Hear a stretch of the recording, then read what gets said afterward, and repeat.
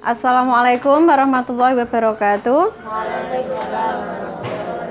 Selamat pagi anak-anakku kelas 7A. Gimana kabar pagi hari ini? Baik ya. Sehat? Masih semangat? Masih ya. Untuk materi matematika kita lanjutkan bab 3 bentuk aljabar. Ya, buka halaman 24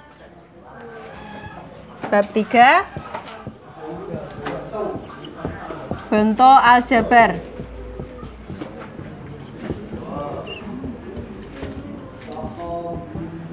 Sudah dibaca tadi?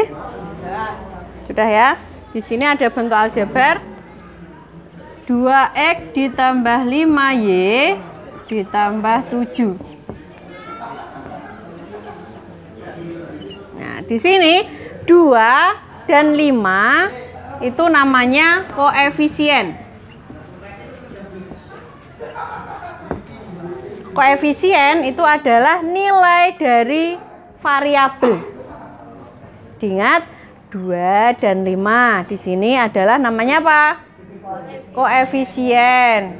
Nah, koefisien itu nilai dari variabel. Nah, variabel itu apa? Variabel itu bisa berupa huruf. Hurufnya terserah A, B, C, D sampai Z. Nah, biasanya yang digunakan yaitu X dan Y. Namanya apa? Variabel. Nah, ingat kalau koefisien nilai dari variabel atau e, nilainya di sampingnya variabel. Ya, kalau variabel itu hurufnya. Jelas ya? Ya, yang ini namanya apa? Konstanta. Konstanta yang tidak mempunyai variabel. Contoh.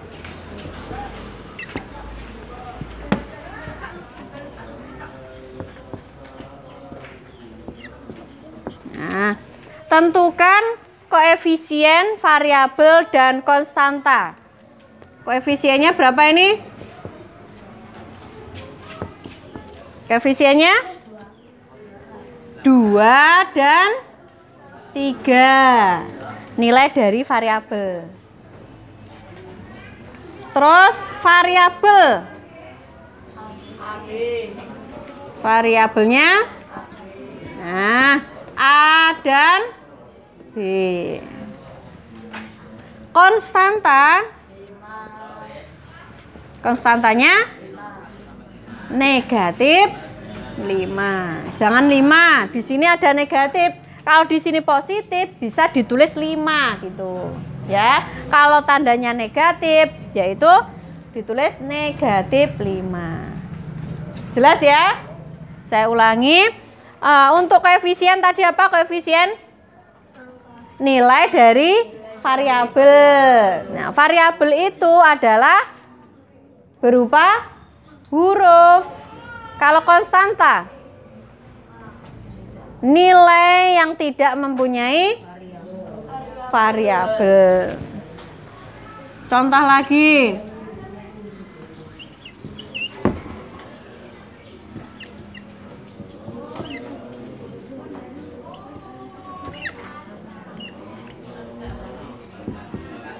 Koefisiennya berapa koefisiennya? 4 dan negatif 5. Ya. Bukan 5. Kalau positif ditulis 4 dan 5. Kalau negatif, negatif. Variabelnya? X dan Y. Konstantanya negatif 10. Jelas? Bisa ya disuruh menentukan koefisien, variabel, konstanta. Bisa ya? Bisa. Sekarang kita ke operasi pada bentuk aljabar. Operasi. operasi pada bentuk aljabar. Penjumlahan yang pertama penjumlahan dan pengurangan.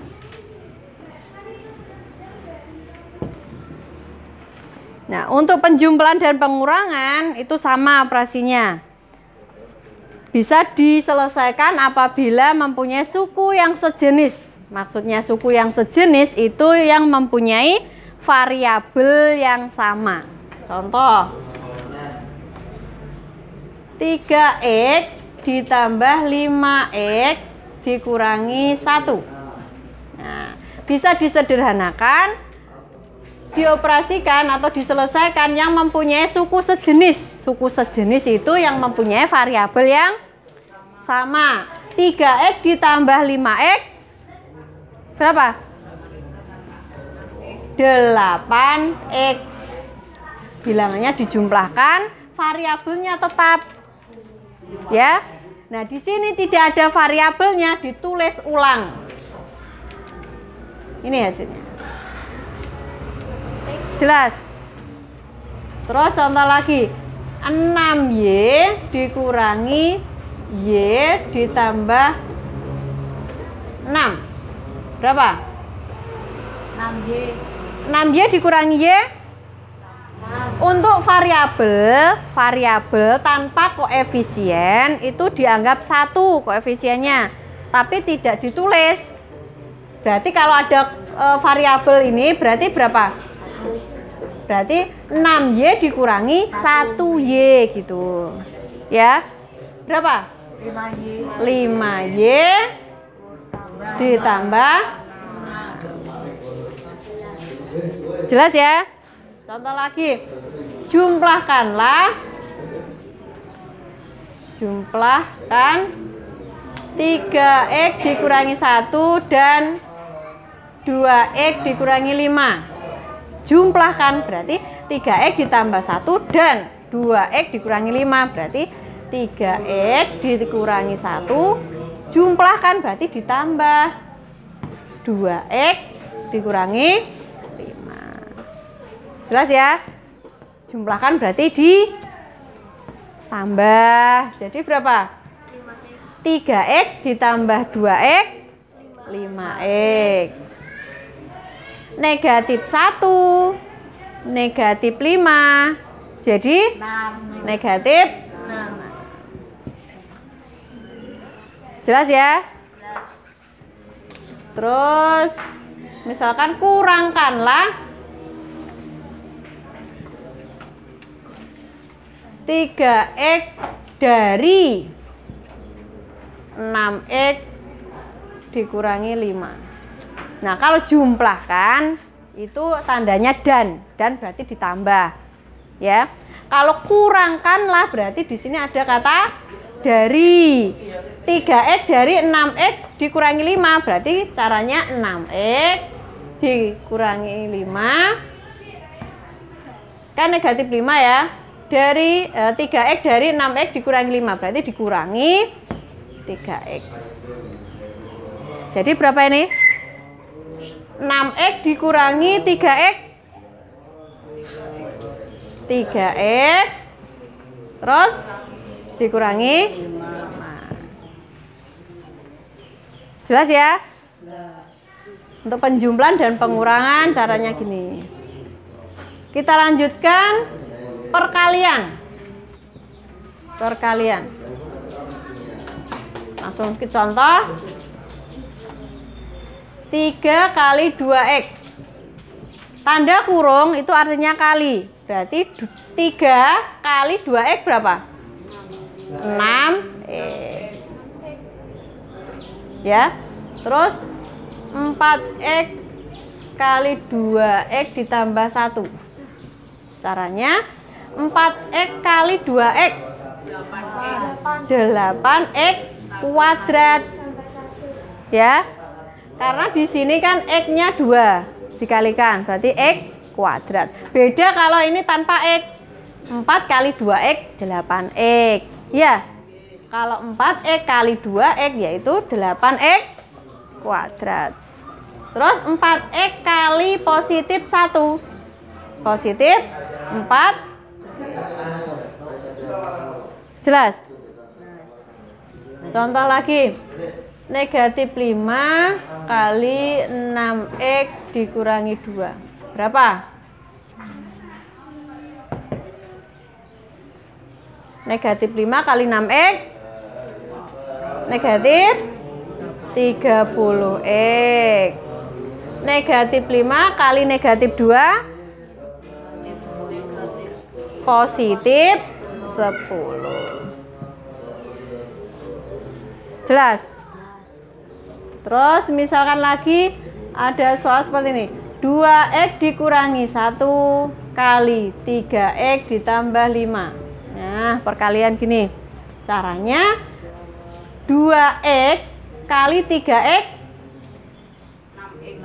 6x kuadrat ya. Terus 2x kali 5 berapa? Positif 10x.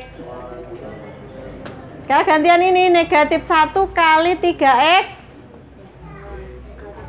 negatif 3x negatif 1 kali 5 negatif 5 disederhanakan di sini kan ada yang sejenis ya kan? Ini ditulis karena tidak ada yang sejenis. 6x kuadrat 10x dikurangi 3x ditambah 7x dikurangi 5 Jelas? Contoh lagi kalau masih bingung. 3x dikurangi 2 kali 2.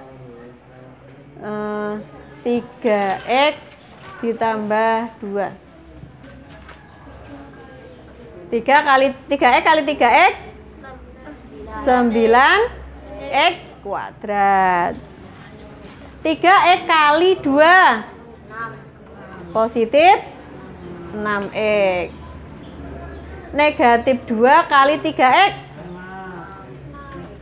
negatif 6x negatif 2 kali positif 2 negatif 4 ditulis. 9x kuadrat. Positif 6x dikurangi 6x 0 kalau 0 berarti nggak usah ditulis. Langsung ke sini Jelas? Ada yang ditanyakan? Untuk apa? Menentukan koefisien, variabel, konstanta, dan penjumlahan, pengurangan, serta perkalian. Ada yang ditanyakan? Yang bingung silahkan bertanya. Kalau tidak ada, kamu buka LKSmu halaman 28. 28 nomor 1 2 3 sampai 9 1 sampai 9 saja. Sudah tidak ada yang tanyakan? Kalau tidak ada cukup. Saya akhiri. Wassalamualaikum warahmatullahi wabarakatuh